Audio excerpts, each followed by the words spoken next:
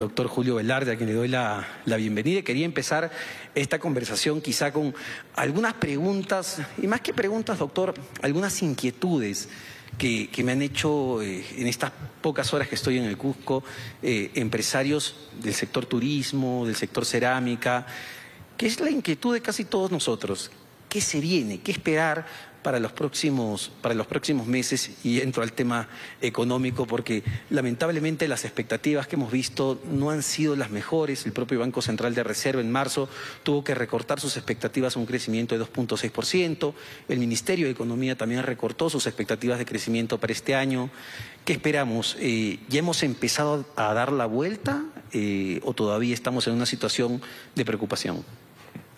Bueno, ante todo agradecer la invitación de Perú es un placer estar con ustedes. He participado del evento de Imperú creo que 10 años. Finalmente ha comenzado nuevamente a tener estas reuniones y comenzar por Cusco creo que ha sido una muy buena señal. Eh, responde a la pregunta, eh, nosotros esperábamos para el primer trimestre un crecimiento de más de 3%, terminó siendo menos 0,4, una caída. En parte fue estas protestas que afectaron seriamente el crecimiento en enero y febrero. Y luego algo los factores climáticos en marzo. Pero fueron, fueron más esas protestas. Ya venía siendo el crecimiento ralentizado este el año pasado. Pero hay una inercia que hacía que el crecimiento todavía se mantuviera. Esta inercia creo que fue interrumpida en realidad por las protestas y un ambiente en que incluso me da la impresión que dentro del gobierno. No se tenía claro qué podía pasar. Si uno le preguntaba a algún ministro, tal vez en enero, cómo veía el panorama, cuatro o cinco meses, creo que la respuesta hubiera sido muy distinta a la que tenemos ahora. dicho sea esto, eh, acabamos de terminar las, la encuesta de expectativas de las empresas de fines del mes de abril perdón, de fin de de mayo, hay una ligera mejora. Lo que pasa es que las mejoras están siendo muy paulatinas. Está una recuperación de la confianza, pero muy lenta. Eh, desgraciadamente está haciendo este proceso de, de simplemente mejora tan lenta las perspectivas que se debe dar alguna alguna, alguna noticia mejor. Hablar con el viceministro de Economía, de extraer algún proyecto grande, se habló de Chemochic, Majes, que realmente es ponerse de acuerdo con la Unión Regional y podría salir a un proyecto minero grande. Safranal está casi listo, podría salir en septiembre. Eh, cuando conversé con los de Newmont para sufrir la cocha, conversé casi al entrar a Castillo, del en diciembre de 2021, están casi dispuestos a hacerlo. Pero cuando uno veía minas que no podían sacar su producción, ¿quién quiere invertir dos mil, tres mil millones de dólares en una mina para después no poder sacar la producción al puerto? Nadie. Felizmente está comenzando gracias a la demanda potencial de cobre que va a haber en el mundo. No solo carros eléctricos que demandan más de cuatro veces la cantidad de cobre que el carro convencional, sino la nueva infraestructura eléctrica que debe construirse precisamente para abastecer electricidad a todos estos vehículos eléctricos. Porque hay que reemplazar el consumo de fósiles por electricidad y eso requiere una nueva infraestructura eléctrica que requiere mucho cobre. Todo este plan de lo que, lo que llamó falsamente Inflation Reduction Act, eh, Biden, el, acta de reducción de la inflación, que, es reducción de inflación, pero que es inversión en infraestructura eléctrica, va a dar mucho cobre. Eh, recuerdo 2007, en Nueva York hablé con los de Río Tinto para la granja. Ese momento proyectaban que la inversión total, en varias fases, pero la inversión total era 11 mil millones. Pero antes inversión ahora llegaría a 20 mil millones toda la fase, a por fases. Pero de nuevo está habiendo interés. Y creo que se vienen, si hay las condiciones adecuadas, estos nuevos proyectos. Pero va a ser un proceso. Y sí creo que, mm, desgraciadamente, la recuperación de confianza es una cosa paulatina. Se viene dando, pero una cosa muy gradual. ¿no? Eh, entonces eso, lo que, a ver, entendiéndolo, doctor, mm. eso implica que todavía ese incluso 2.6% de crecimiento, que, perdóneme la palabra, pero que es mediocre para una economía como la, de, como la peruana, eh, ¿puede quedar grande? ¿El sesgo puede ser a la baja? Sé que no me va a decir el número, que la quincena se reporte de inflación, pero mm. ¿hay un sesgo a la baja ahorita? Eh, nosotros oficialmente publicamos las cifras cada tres meses. Las, publicamos la, este, este 16 de junio. Obviamente en el banco trabajamos las cifras continuamente, pero oficialmente se las publicamos ahora cada tres meses por disciplina, si no introducimos mucho ruido. O sea, en, dos semanas va a tener las cifras oficiales. Eh, el, el sesgo probablemente sea la baja, efectivamente, por lo que ha pasado hasta ahora. Pero una cosa importante a señalar es que en la encuesta que hacemos de crecimiento a empresas, analistas financieros, economistas y, y la encuesta que hay a los bancos de inversión del mundo, lo que es el consensus, la proyección de crecimiento que se espera para el próximo año es bastante mayor la de este año. O sea, sí esperan cierta recuperación. Eh, ahora, es un crecimiento mediocre. Realmente es toda la región. No estamos tan mal frente a América Latina, solo que América Latina es un desastre. No, es un desastre. O sea, hace 40 años Asia emergente pesaba 7%, América Latina pesaba 22%. Ahora las cifras se han invertido. América Latina está corriendo el riesgo de pasar a ser casi irrelevante. Esa es una tragedia. Y muchas veces nos consideramos bastante importante. incluso me, da pena como las mismas frases realmente que se dicen acá se dicen en todas partes. En México dicen, Humboldt dijo, que México es un mendigo sentado en una montaña de oro. Acá la frase de Raimond dice, un mendigo sentado en un banco de oro. Pues todos los países tienen frases semejantes. Y, realmente la, verdad es que, que, no estamos sentados en un banco de oro, es el esfuerzo que tenemos que hacer todos los países para salir adelante. ¿no? Los países más ricos, hay que recordar, Singapur, Japón, Suiza, Corea, no tienen recursos naturales. Y se han hecho realmente a base de su esfuerzo a base de su inteligencia. Perdón, estoy hablando demasiado. No, no, no, me parece perfecto, pero justamente sobre ese punto, ¿no? A ver, se, está haciendo, se están haciendo los esfuerzos suficientes, por ejemplo, para revertir ese, ese desánimo que hay en el sector empresarial, ese desánimo que hay entre los consumidores, la inversión privada se desplomó literalmente durante el verano por los mismos factores, pero ¿qué se está haciendo para cambiar el ánimo de empresarios pequeños, grandes, medianos? ¿Qué se está haciendo para cambiar el ánimo de la gente desde los hacedores de política pública? ¿Qué se puede hacer o no hay nada que hacer? No, yo creo que está siendo un proceso gradual. Creo que si uno ve a, los ministros, acá tenemos a uno, a Juan Carlos, a quien conozco hace 40 años, 40, no sé. Eh, creo que los ministros son, eh, son bastante buenos, la mayor parte. Creo que están haciendo su tarea. Eh, ¿Cómo recordar esta confianza? Se ha deteriorado mucho en los últimos años realmente. Eh, el optimismo que teníamos, incluso hasta 2017-18, sido deteriorando fuertemente. Eh, incluso cuando ve, ¿qué explica la elección 2021? Creo que son muchos factores, ¿no?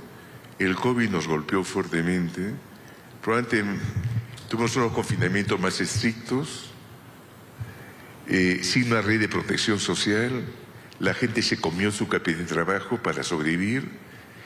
Al no haber una red de protección social, la gente para vivir tuvo que comerse su cohete de trabajo. El pequeño comerciante, el informal, se comió su capital, se empobreció. El que había salido de la pobreza regresó a ella, como se ha visto en las cifras. La inestabilidad política nos pasó factura. Realmente para la gente el enfrentamiento que hubo 2016-21 pasó factura. Y, este conjunto de factores creo que nos ha afectado bastante, ¿no? Em, eh, eh, y, creo que eso ha hecho perder eh, confianza, confianza en lo que podría pasar. ¿no? ¿Estamos ante un nudo, en un punto de entrampamiento y no sabemos desatar ese nudo? creo realmente que el deterioro en la gestión gubernamental, el, deterioro, en la confianza en inversión que se dio eh, el gobierno anterior ha sido masiva y creo que afectó bastante. Y creo que no somos conscientes de los riesgos que había. Eh, realmente los riesgos han sido bastante altos. Eh, creo que se ha evitado un montón de, riesgos, pero los riesgos existían. Eh, el riesgo incluso que hubiera habido control de cambios. La gente está mencionando un momento para estar manejando parte de la economía. Era gente que nunca hubiera subido la tasa de interés, que solo hubiera vendido dólares para tratar de que no subiera el tipo de cambio. Uno puede vender 20 mil, 30 mil millones de dólares y después el mercado percibe que ya no hay dólares suficientes. Y hubiera venido como... Pasó en Argentina, 2019, hay el paso. Eh, Macri, con un ministro de Economía ortodoxo, un presidente de Banco Central ortodoxo, pone control de cambios. Pues no podía hacer otra cosa. Y, nos hemos salvado de varias situaciones, creo yo, ¿no? Pero la, calidad de la gestión pública fue muy mala. ¿eh? Y creo que eso ha pasado factura. ¿Fue o, es muy mal? Y se lo pregunto porque no, ¿qué se está haciendo en política fiscal? Yo, creo que está mejorando bastante. Creo que hay, un cambio radical en cuanto a ministros. Tal vez todavía no en todos los funcionarios, creo que había un cambio radical en ¿Pero eso se, se, está traduciendo en eh, eh, mejor gasto? Creo, que algo sí. Está, está tratando de impulsar gestiones, pero es un proceso, ¿no? Es...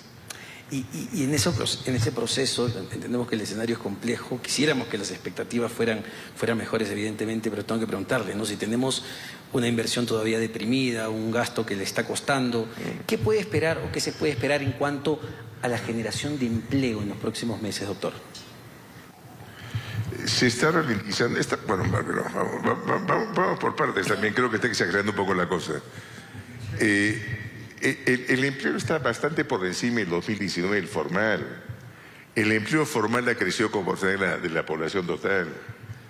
Eh, frente a 2019, pre-COVID, el empleo formal ha crecido casi 8%, 7 y pico, casi 8%. Eh, ha crecido más que la población de trabajar. Eh, parte son los sectores que... Parte ha sido agroexportación, si bien se ha ralentizado pues, la norma que se dio a fines del 2020, eh, parte de la recuperación en sectores urbanos de comercio y servicios y restaurantes, pero ha habido una recuperación. Se está ralentizando algo ese crecimiento, uno lo ve en afiliados FP, para una recuperación de empleo importante. Eh,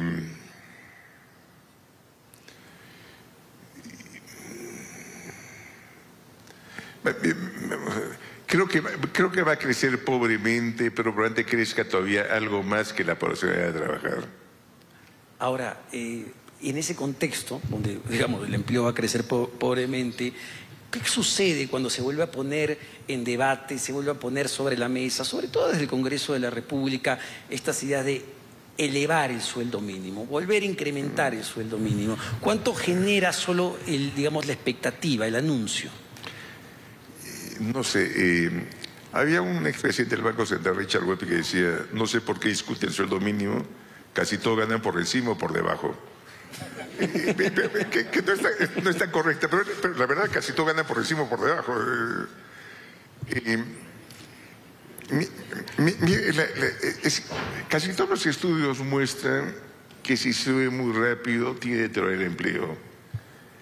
Eh, nuestro sueldo mínimo es 60% del sueldo promedio.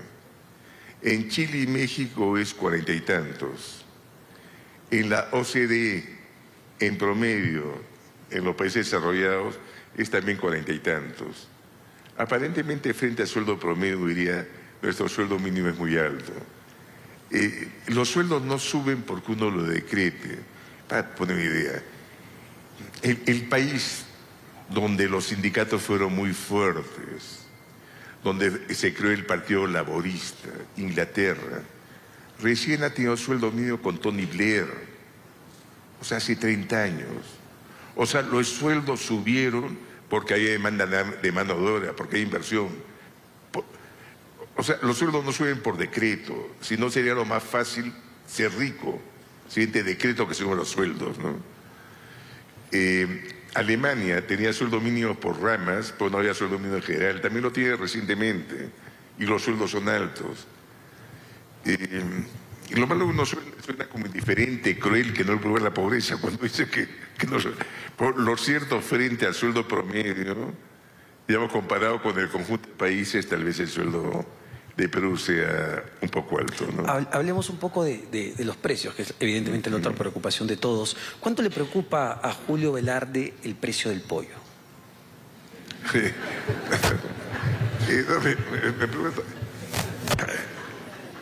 me, preocupa, todos los precios. la, tragedia en varios países de América Latina ha sido que más ha subido los alimentos. En Colombia el alimento está subiendo veintitantos por ciento, creo que está 24 horas. En Perú está 13% el aumento de alimentos. Eh, que obviamente afecta a los más pobres. Incluso parte de la explicación de la subida de pobreza, el 22, ha sido el aumento de precio de alimentos. Incluso porque la pobreza sube más en zonas urbanas que en la rural, es que en la rural hay parte de autoconsumo, mientras en urbana no. O sea, el precio de alimentos, la subida de alimentos le afecta felizmente todo parece indicar que alimentos se corrige este año. Para terminar, redondearse entre la idea, Perú junto a Filipinas y Rusia, Rusia por bebidas, eh, vodka, eh, es donde, los tres países emergentes donde pesan más alimentos. O sea, casi 38% pesa alimentos. Entonces, realmente, cuando en Estados Unidos, Suiza casi no pesa alimentos tanto. Segundo, el precio del trigo, si sube el trigo, el precio del pan en Suiza pues casi no sube. O sea, más cuesta el, digamos, el, alquiler de panadería, el precio del panadero, etcétera, no, se compara con el caso del, Perú. O sea, pesa mucho más el caso peruano, el precio del trigo por los otros factores que, en Suiza. Pero, perdón, para terminando. Eh, eh, que que lo que estamos viendo este año es que han caído los precios de, los commodities internacionales. Ha caído trigo, ha caído maíz, ha caído aceite de soya.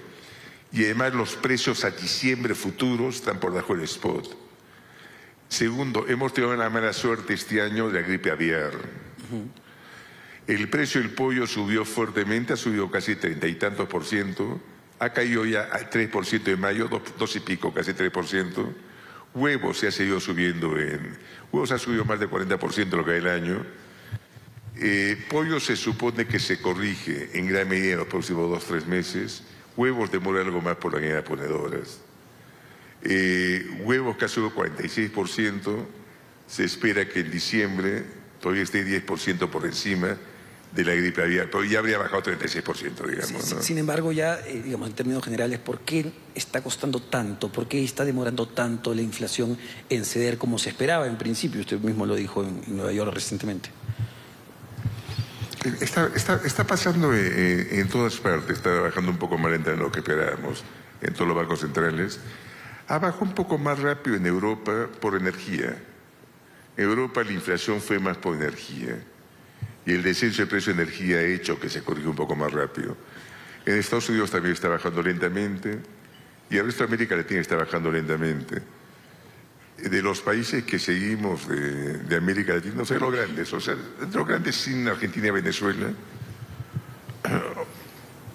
o sea, la inflación subyacente más baja la tiene Perú, frente a Brasil, México, Chile Colombia, expectativa de inflación más baja todavía la tiene Perú, tasa de interés más baja todavía la tiene Perú. Eh, está, en toda parte está bajando lentamente. Sin embargo, digamos, esa situación puede llevar a que todavía tengamos unas eh, tasas de interés altas. ¿Cómo ve la política, digamos, por ahí el Banco Central? También entendiendo lo que viene pasando eh, afuera. Vamos a hablar de Estados Unidos.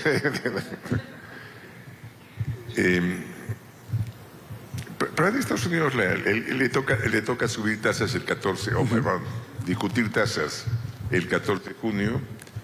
¿Cuánto una chance 50-50 sube o no sube? Eh, pero antes, si no hubiera habido estos problemas en la banca, hubiera subido de todas maneras.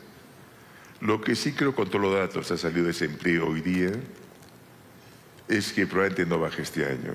Y si baja este año va a ser en diciembre. eh, va a asegurarse que la inflación esté baja. Y creo que ese va a ser el espíritu en muchos de los bancos centrales. En América Latina se esperaba que Brasil bajara en marzo, no lo ha bajado. En parte por la subexpectativa de inflación, segundo la situación fiscal no es buena. Se, espera, se esperaba en América Latina que los primeros en bajar fueran Brasil y Chile. Brasil se esperaba en marzo, Chile se esperaba como en junio, y todo está demorando un poco más. Y después Brasil y Chile se esperaba que Perú. Y Perú sigue la tendencia. Es tendencia, está, cada uno está viendo lo que está pasando en su país, pero era lo que esperaban los mercados un poco. Eh, en la encuesta que hacemos nosotros a bancos, al banco del exterior, está esperando que comience la reducción de tasas algunos al fin del tercer trimestre, septiembre, y otros más el cuarto trimestre. ¿no? Ahora, vuelvo, al tema, a ver, que, que, es muy sensible, que tiene que ver con pobreza, porque algunas conclusiones que saco, ¿no? Todavía tenemos para este 2023 un crecimiento bastante bajo, mediocre en realidad, que es ese 2.6 o quizá, o quizá menos. Y tenemos unos precios que sí, probablemente son menores que, los que lo que vemos en otros países de la región, pero que siguen altos. Esa combinación es la combinación perfecta para seguir sumando pobres este 2023. Antes se mantenga muy próximo lo nivel de pobreza a los que tuvimos el año pasado, pero hay que tener cuidado. Eh, hay, hay, una buena parte de la población pobre que está bien próxima a la línea de la pobreza. O sea, una parte bien importante que está entre 0 y 5% de la línea de pobreza y otro porcentaje también alto entre 5 y 10. O sea, un progreso ligero lo saque la pobreza. Solo que no creo que sea este año, si, si quiere la ¿Qué estamos esperando inflación? Eh, que sería la pregunta. Estamos esperando, porque se corrige alimentos, estamos esperando que la inflación esté cerca a 3 este año. El número exacto lo vamos a ver el 16 de, junio, la proyección, eh, pero cerca de 3, básicamente por corrección de alimentos. Eh, eh, está cayendo commodities, trigo, maíz, soya en, todo el mundo. El precio de pollo ya comenzó a caer el mes pasado y va a seguir cayendo conforme se regularice la producción de pollo. Gripe aviar ha pasado en todo el continente. Han sido las aves migratorias de Canadá que han contagiado a todo el continente. A unos países el efecto ha sido menor porque han estado vacunadas las aves o la vacunaron muy rápidamente. Acá se ha sido, demoraron un poco en vacunar y ha sido un poco mayor. Pero es, una cosa que se revierte. Entonces un efecto temporal. Más bien lo que puede demorar un poco más en llegar a la meta es eh, lo que llamamos la inflación subyacente, que el mes pasado, o sea, en mayo fue 0.08, pero puede demorar un poco más, presidente, porque son servicios que reflejan un poco inflación pasada. Esa probablemente lleguemos en marzo, abril, tal vez mayo del próximo año. Ahora, ¿cuáles son, los, ¿cuáles son, los, grandes riesgos que en este momento enfrenta la economía peruana? Le pongo uno. No sé si la conflictividad social sigue estando en el mapa como un riesgo latente que pueda marcar nuevamente el rumbo de la economía. Eh, no, siempre es un riesgo, pues no lo veo tan alto en este momento realmente. Me parece que se ha aplacado. Eh, no, no, veo ningún líder de oposición fuerte. Veo una oposición débil. El gobierno puede no ser muy fuerte, pero la oposición también es débil. O sea, no es como el caso otro. No hay Evo Morales contra Sachi Lozada. Eh, o sea, no, hay un líder de oposición propiamente. ¿no? No, no veo realmente una conflictividad que puede extenderse. Puedo equivocarme. Muchas veces aparece por una chispa, puente de la pradera, pero no la veo en principio un problema tan grande ahora. Eh, riesgos veo internacionales, ciertamente. Si bien recesión en Estados Unidos no la veo con tanta importancia, siempre hay riesgo. Cuando la posibilidad de un ajuste de crédito, siempre puede sorpresa, creo que no lo va a haber, pero... Y riesgo geopolítico, China y Estados Unidos cada vez está más fuerte. Lo que haga la trampa y Tucídides, o sea, cuando hay dos potencias que se enfrentan, las posibilidades de riesgo siempre son... Ah, siempre, están, siempre están allí. No creo que pase nada, pues no se puede descartar. Y, y no sé, desde hace seis años, cada vez que voy a Washington, hablo con un secretario de Tesoro, se me acerca alguien del Tesoro a conversar conmigo la preocupación de China, China, China, China. Una cosa impresionante, ya de casi obsesiva, ¿no? Y, creo que en un momento van a querer que todo el mundo se separe en dos bloques, que, no creo que nos corresponda a nosotros hacerlo, pero uno nota esa tensión creciente, o es una hacienda, hay un secretario de tesoro importante, puede haber gente de Croacia, Perú, de varios países, y a todo el mundo, ¿y qué hace China en tu país? ¿Qué está metiéndose? Una cosa ya casi obsesiva, ¿no?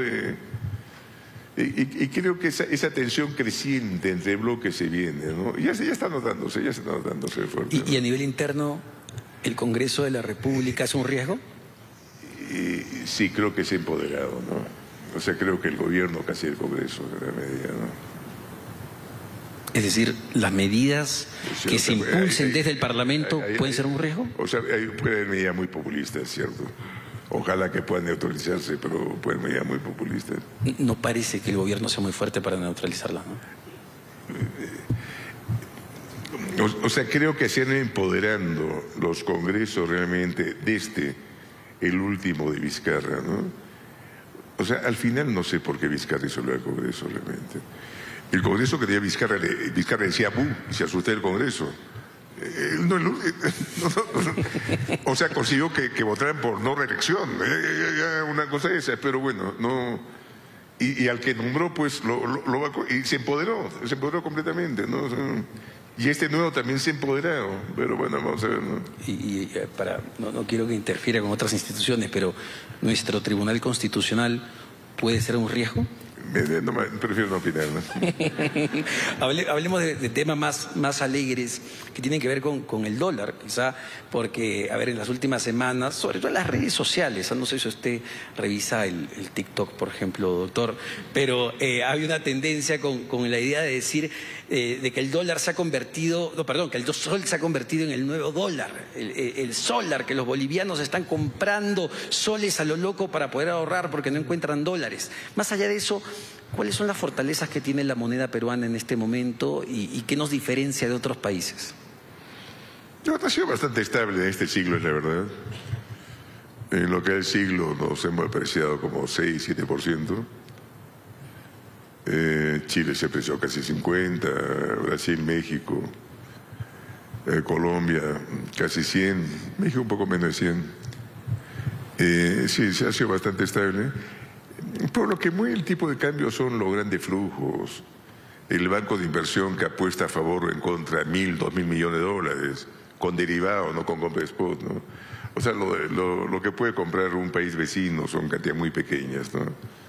O sea, frente a estas apuestas masivas que ha, puesto que el, sol se va a depreciar o el sol se va a apreciar, y son apuestas de miles de millones, ¿no? Son, no, no se compara pues lo que puede comprar 20 millones, 100 millones que puede comprar un vecino. ¿no? Ahora, yo, sé que no, me va a decir que no tiene la bola de cristal, pero eh, digamos, al nivel que está actualmente, ¿hay fundamentos para que el dólar baje aún más? Eh, es, imposible saber. Eh, no, si uno pudiera saber el tipo, el mercado sol dólar es pequeño, pero euro dólar uno sería billonario en un día, ¿no? Si puede saber el tipo de cambio vamos a ver, eh, si, si no hay recesión en Estados Unidos, el FED deja de subir simplemente, incluso no baja la tasa de interés, creo que nuevamente van a buscar los flujos eh, en mercados emergentes. Entonces puede haber cierta tendencia a apreciación de mercados emergentes. Y, es interesante, ¿no? Porque dentro de los mercados emergentes, pese, digamos, a todos los problemas internos que, hemos discutido y comentado el día de hoy, el Perú sigue estando, digamos, eh, bien visto desde fuera. Lo digo por la, emisión reciente que se ha hecho de más de 9 mil millones de soles. Eh, me, siempre me reúno con frecuencia con los inversores de renta fija y a Perú lo veo bastante bien. Y además lo siguen bastante. Me sorprende realmente que se hayan leído los papeles del Banco Central más que yo la gente en Londres o eh, eh, no, no, no, es mentira, o sea, den con mucho cuidado todo, ¿no? Eh, no, siguen bastante y tienen bastante confianza. Incluso muchos de ellos, fondos de pensiones, compran y no se cubren, y, compran y lo mantienen por 20, 30 años, ¿no? ¿Qué, representa, a ver, para, que la gente que no solo está en esta sala, sino que nos está viendo y escuchando, qué significa que el Perú pueda salir al mercado internacional, emitir más de 9 mil millones de soles en su moneda con tasas competitivas? O sea, eh, confía que el manejo macroeconómico del Perú va a ser confiable. Ahora es bono a 10 años, pero hemos emitido bonos a 30, 40 años. O sea, consideran que el manejo va a ser prudente en los 30, 40 años. Para que tengan una, idea, ahora ya no, pero hasta hace una semana costaba más asegurarse de que Estados Unidos pagara su deuda que Perú. Con esta discusión del límite de la deuda en Estados Unidos, el credit default swap por ser seguro un año de que eh, eh, eh, el, país pagara su deuda, Estados Unidos tenía que pagar, tenía un bono norteamericano, tenía que, pagar más para que le protegieran que Estados Unidos iba a pagar su deuda que lo que tenía que pagar Perú. Ahora ya no, porque se levantó el límite de la deuda, ¿no? Pero...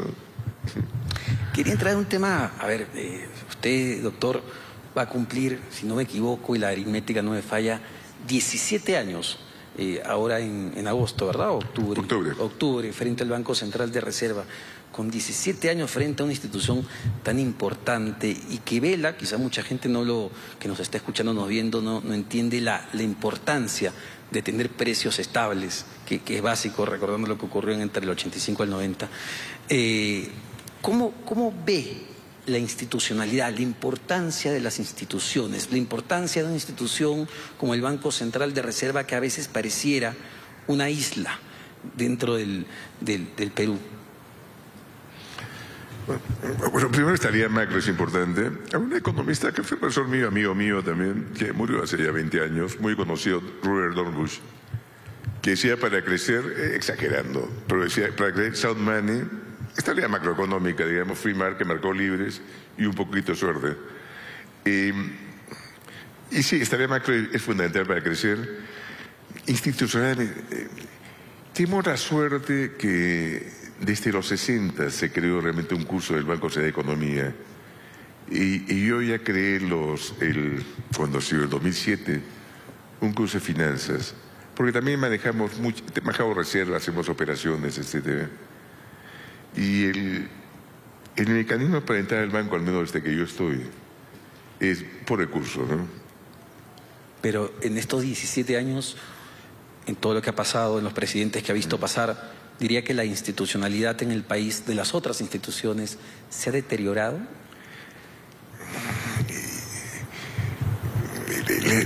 se han hecho varios esfuerzos, pero es una pena. Eh, el Ministerio de Economía, en los 60 hacían oposición como en España. Para entrar en los ministerios hacían oposición como en España.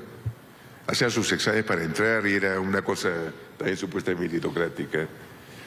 Cambió en los 70 después se abandonó a que sí había intentado crear, eh, eh, servir, etcétera, pero todavía no se ha conseguido plenamente. ¿no? Eh, hay varias instituciones que están haciendo eso, Superintendencia o Cancillería, Fuerzas Armadas, pero faltaría más en todo el Estado de un esquema semejante. ¿Qué es lo que impide eso? ¿Qué es lo que impide? ¿Por qué no podemos tener más instituciones como el Banco Central de Reserva, la Superintendencia de Banca, Banca y Seguros? ¿Cuánto pesa el factor político? ¿Cuánto pesa la, propia corrupción en todo esto?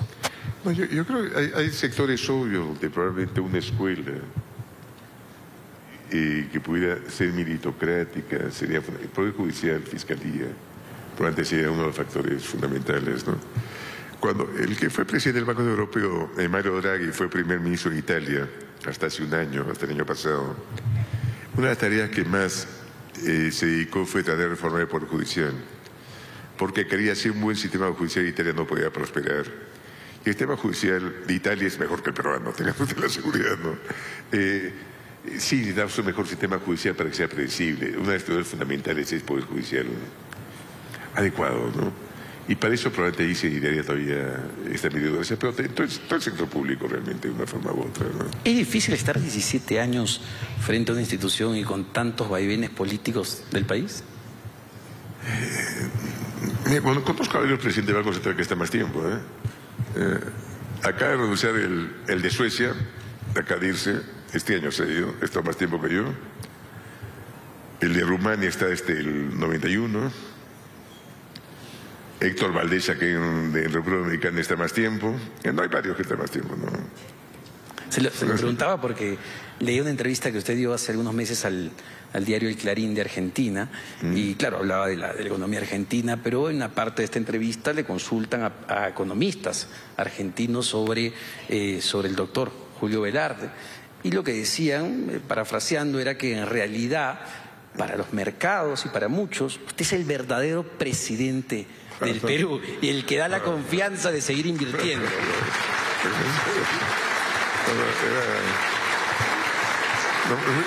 muchas gracias, pero... ¿Se ha sentido así en algún momento? No, no, er, eran dos amigos. Eh, Domingo Cavallo, que fue el ministro de Economía de Menem durante 10 años, y Federico Sturzenegger, que fue presidente del Banco Central con Macri, fueron los que dijeron eso, pero no... no eh, que son amigos, nada más. eh, fue una entrevista que dije no era Argentina, por Clarín lo puso como si estuviera hablando Argentina. Y me dio a problemas con el presidente actual del Banco Central Argentino, porque todo era como si estuviera criticando lo que hacía Argentina ahora, ¿no? Pero bueno, ¿qué se va a hacer? Y no, no, ¿qué, voy, a creer eso, no? No, no, lo, lo, que pasa como ha habido tanto, si no hubiera habido tanto presidente nadie diría eso. no, no, lo que, pasa es, simplemente eso. Y para, para, para, terminar, porque nos gana ya, ya el tiempo, lamentablemente, eh, a ver, el 2026 usted termina, termina este cuarto mandato, ¿verdad? Si no me equivoco, cuarto mandato. ¿Julio Velarde está ya cansado o podría aceptar un periodo más? No, sé, no sé, no, no, no, contesto eso por, no, sé, lo, vi en su momento. Estoy cansado. Lo, lo, lo que, lo que me, me, di cuenta es que no tengo tiempo para gastar nada. ya, ya, que descansar y poder también disfrutar la vida, ¿no? O sea, no, no, no, hay tiempo para... Pero bueno, vamos, a ver. Y le pediría, por favor, a ver, eh, sé que al principio lamentablemente los mensajes pues no son, no son optimistas, las expectativas todavía vienen, vienen bastante debilitadas, pero ¿qué, mensaje le daría a esta sala? ¿Qué mensaje le daría a la población en el Cusco que está muy golpeada por el tema del turismo? Y, sobre todo, doctor, ¿qué, mensaje le da al Perú que, que lo está escuchando, lo está viendo en este momento? No, yo soy bastante optimista frente al futuro. Creo que hemos tenido unos últimos años complicados. Eh,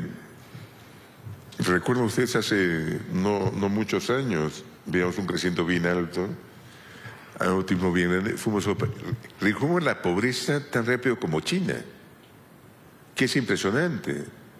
Estuvo creciendo a tasas altísimas. Miren, comparen ustedes con México. México estuvo creciendo, este siglo ha crecido 2%. Alrededor de la pobreza este siglo 2%.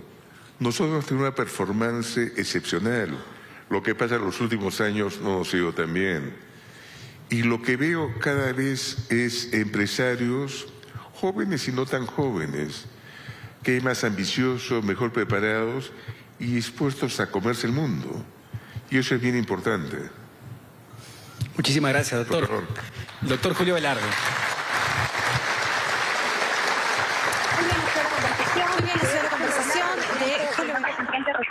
Central de Reserva con Omar Mariluz, periodista de RPP Noticias, aquí en el tercer día del cierre de Imperú en Perú, el evento en el que se han juntado además emprendedores y pequeñas empresas, estudiantes y talentos jóvenes, la comunidad empresarial. La única, el único objetivo, buscar la reactivación